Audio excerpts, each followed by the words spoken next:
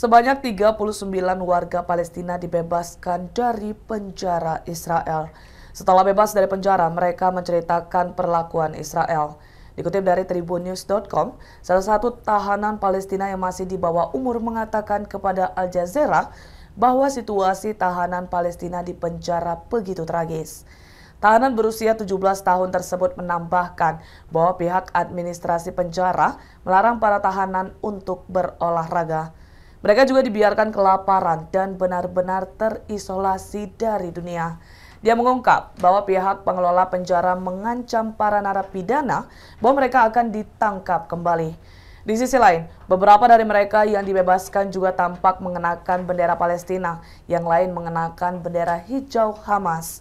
Suasana pembebasan Sandra di tepi barat berlangsung ricuh. Tentara Israel bahwa menembakkan gas air mata ke arah masa. Ikuti terus berita aktual lainnya. Jangan lupa like dan share seluruh akun Tribun Medan. Download Tribun X sekarang.